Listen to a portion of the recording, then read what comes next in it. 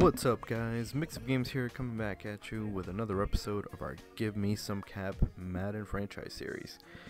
And in this year, we're pretty much done with the 2018 season. Unfortunately, we did not make the playoffs, but we are seeing as the next season as a big, big upside.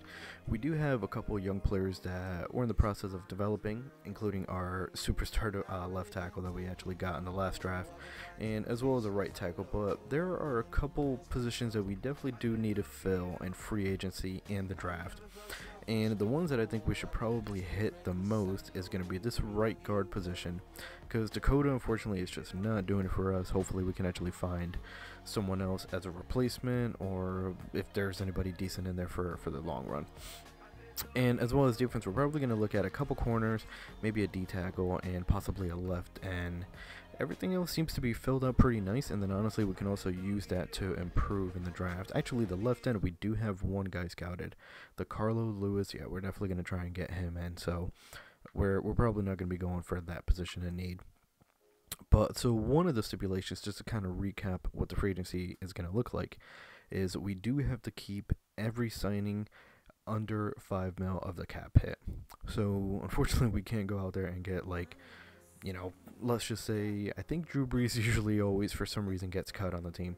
So let's say Drew Brees is in there and he wants a 20 mil contract. Obviously, we can't give him that. We do have to keep it under 5 mil. So, you know, we're definitely going to be looking for cheaper guys, cheaper younger guys, or even those old vets that just kind of want a decent pay in and then they'll play as a good replacement. So let's jump right in and let's see exactly what guys we can look at. So we do have 46 million cap, which is awesome.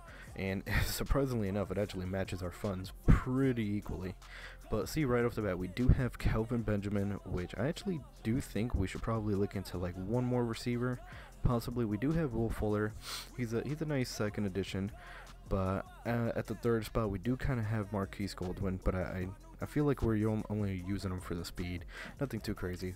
But Kelvin Benjamin right here, yeah, see, so he would want a four-year, 40.8 mil contract, which would result in the 7.6, and we're definitely not going to be going into that park. But his stats are nasty with that 99 catch in traffic, 96 spectacular, superstar development, all around a beast of a player.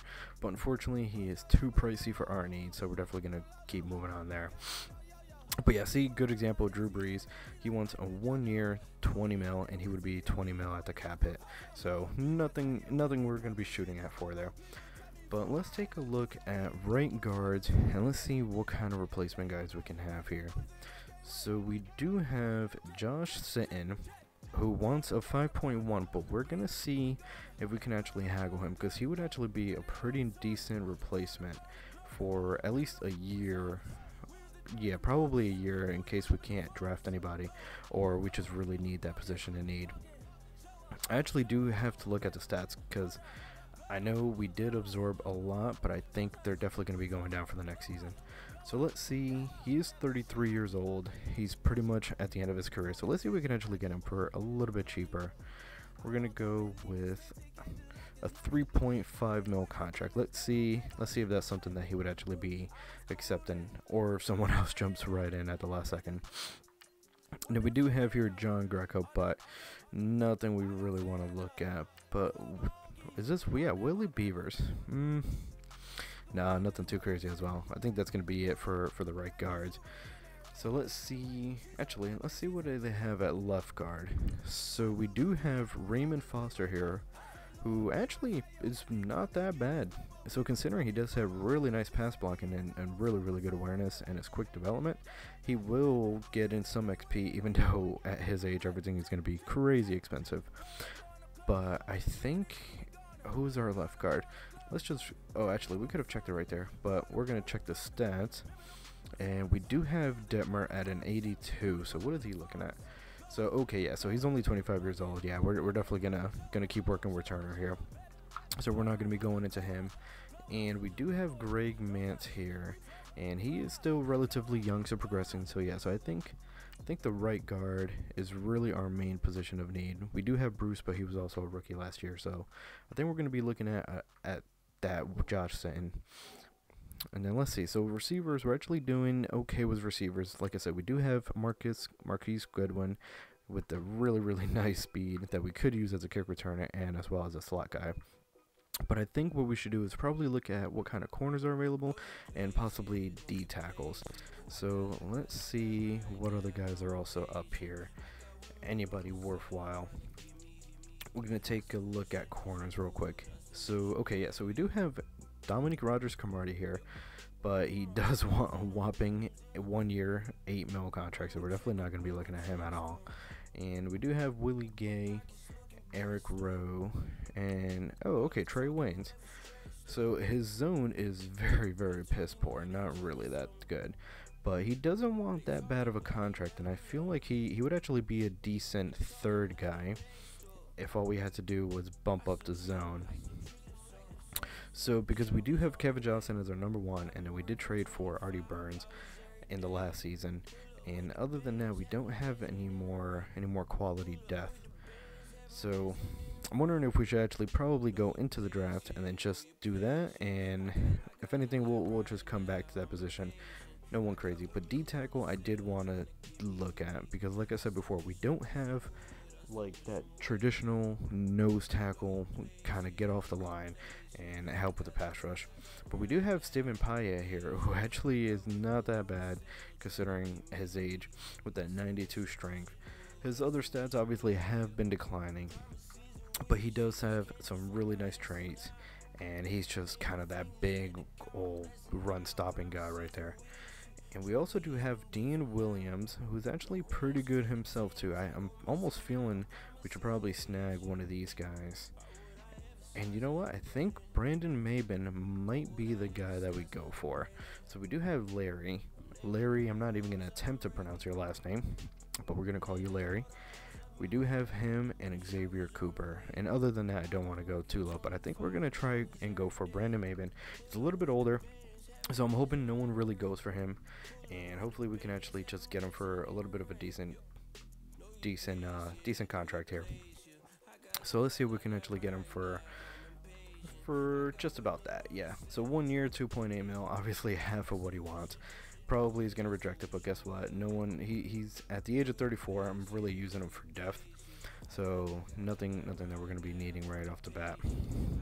So it almost looks like Oh yeah, yeah. So we're also going to check into the receivers, but it doesn't look like we're going to be going too crazy into this free agency. Really, no big name guys, and at the same time, we really can't spend big name bucks. So we do have Nelson Agholor here, who ooh, okay, so he does have the quick development trait, which is actually really, really good. So I think he he does just barely get under that five mil cap, but I think what we're going to do we're going to try and boost up his contract just a little bit, get him for for those four years and let's get him at a 24 and a half. Yeah 24 and a half for four years which only result in just another pretty much mill and a half. So let's see if we can actually snag him for this price. So it is something that, that he would want and he would actually be a perfect addition at our slot receiver spot and a nice complementary piece to our receiving core.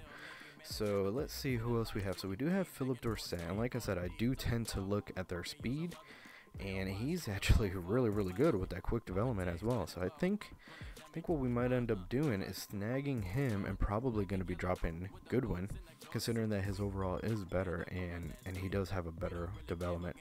So let's see if we can offer him just a little bit more what he wants only really 0.5 and let's see if he'll take it for the four years and that's also going to be another high contract so two guys here that we're going to be looking at, which is actually going to be really, really nice. So I think we're good for, for the receiving core. In case our guys do get bid on, then obviously we're going to be looking at other options. But Nelson Agholor, Phillip Dorsett, hopefully you guys are welcome to the team. And let's just look at our negotiations really quick. And let's see. So we do have, we are going for Josh Sitton at our right guard position, Nelson Agholor, Phillip Dorsett, and Brandon Mebane. I think those are really going to fill out most of the needs that we need on this squad. And then everything else we could just pretty much fill in. Like I said, I'm really, really thinking on to see if we can actually draft that Carlos Lewis we do have, I believe, the number ninth overall pick. So, so we are at least going to be in the top top ten, and I would gladly, gladly take him at, at the top ten pick. But let's just see anybody that we just want to look in here in case we need some insurance. So Eli Harold, definitely not going after you. Dante Fowler, not crazy stats. He, he's definitely more of a rusher. Not really sure why they have him as a balanced, because he is kind of that speed rusher. But T Ford, so Tyler Ford, hmm. Okay, so he's really just raw because he's only 22 years old. Doesn't really have anything that screams out, but for 77 overall, to have 96 speed, 80 acceleration, he's definitely another speed rusher, which at least he is able labeled that. Ooh, so I'm wondering if we should probably go for him because he, he would be just kind of like a nice little complimentary piece. But I think I think we're gonna skip that, and we're probably gonna put all of our eggs into that left end spot, and hopefully we can actually get him. But we do have Romeo Okwara here, and yeah, just not really not really doing it for me. So I think that's it. So let's sim the week and let's see if we can actually get any of our offers accepted. Let's see if anybody wants to join the team. Okay, yeah, so we got, surprisingly, we got both of our receivers right off the bat. Kind of knew that was going to happen because they were definitely offers a little bit more than what they actually wanted. And we actually were able just to snag them off the market really quick. So at least we do have some nice receiver depth and we're definitely going to be getting rid of a few guys. Hopefully we can actually make a trade here. But yeah, so the left end position is definitely our main position of need, as well as the right guard. So the right guard, we do have Casey Williams here, who will kind of be of a nice bailout in case we don't get, I think he's actually a right end yeah, in case we don't get Carlos Lewis, because he he's definitely I I'm going for Carlos Lewis. Everybody, we are definitely going to be picking up this guy. Hopefully, um, if we have to make a trade, then I'm, I'm surprised he's supposed to go in the mid first round. He's definitely going on our team. I see something very very special in him. Jamal P, you're good, but no, uh, Carlos Lewis is is the guy that we're definitely going to be needing. But worst case, if we do not get him, then we're definitely going to be going with Casey Williams. And yeah, as you see there, we do have the number 9th overall pick and the 20th overall pick. And let's just see. So a late first round. I mean, if we snag them with that 20th pick, I would be very, very happy with that as well. And that would just be two nice pieces that we definitely need. But other than that, we really have kind of of a decent team. We just gotta we just gotta develop everybody. We just pretty much gotta keep getting XP and just keep keep on going, keep on working, and then hopefully in this season we can actually make the playoffs. And let's see if we can actually go pretty deep in the playoffs. So I'm gonna ex exhaust the rest of this XP. And I'm not really sure what positions we haven't scouted yet, but I'm just gonna dump into the points into any random slot that we haven't done. So strong safety, there we go. So surprisingly, that Carroll, that Carroll strong safety from from TCU, he actually had an amazing combine grade, but I'm surprised that he is projected to go in the fourth rounder. That is definitely not a good sign. Usually means that their development is just a little bit low and definitely lacking, not on par where they needed to be. So let's just finish off these points, and we do. So then now, let's go into free agency, and let's see if anybody has jumped on our guys, and if they want to kind of outbid us. So we do have the Rams here, and they're definitely, definitely going to try and get Josh Sitton. Considering that we gave them a one-year, three and a half mil contract, and we're at about half of what they offered. So pretty much they they gave him his contract on top of it. So we're definitely not going to be getting Justin, and we're going to sit tight on Brandon Mebane. Like I said, he's really going to be a backup D tackle. So no one that we're really going to be going crazy into. So let's see if we sim the week, what exactly is going on. So he does reject our contract and he does sign with the opposing team, and that's alright. We didn't really need him. Like I said, we do kind of have a backup plan in the draft, and no one is going for Brandon Mebane, so that's gonna be alright.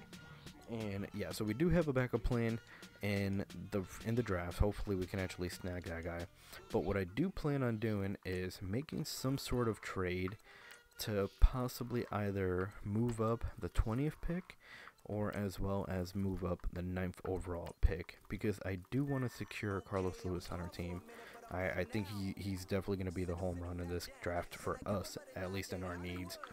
And hopefully we can actually snag him and then as well as be able to get our right guard of the future as well and that would just be really really nice So let's exhaust the last of this XP. I do believe the draft is going to be coming up next, and then we'll actually find out if Brandon Mebane is going to be be signing a contract with us. If not, well then that's okay. Um, nothing that we can do about that. So we're just going to run out the XP on the quarterbacks, even though we're definitely not going to be snagging one. But that Sean guy definitely looks pretty good. He has an A plus of throw power, so I can only imagine what his stats are. And then B plus is short and B to mid. If anybody needs a quarterback, he's the guy to take. Okay. So that's all set, and we're definitely going to sim it. Let's find out if Brandon Mebane accepted our contract or if he's still negotiating. Yeah, so he's still definitely negotiating. Um, he's probably not going to end up signing, but if we have to pick him up in free agency, we will. If not, we're just going to fill him in uh, through the draft and we'll be all set. But I'm actually going to end this episode here, guys, only because the NFL draft is going to take a little bit more time, and I kind of want to have that in one video rather than than just split out two different segments. But hopefully you guys enjoyed this episode. Also, please leave comments if you guys want specific trades going on in this draft or uh, um, on this team. If you guys want to get specific players that hopefully meet our threshold of 5 mil or less and we'll be able to bring them onto the team with some crazy trades. But at the same time we will be making some trades to hopefully move it up in the draft. And I, like I said before I got I got my eye on a couple guys in here but hopefully you guys enjoyed. As always, please remember to like, subscribe, and comment with any suggestions or comments that you guys might have on this series or any other series in general. At the same time, also fo follow my Instagram at mixofgames.com and be be able to just follow me there and keep update on when new videos are also posted and also keep that notification bell on so you guys never miss an upload. This is Mix of Games guys. Peace.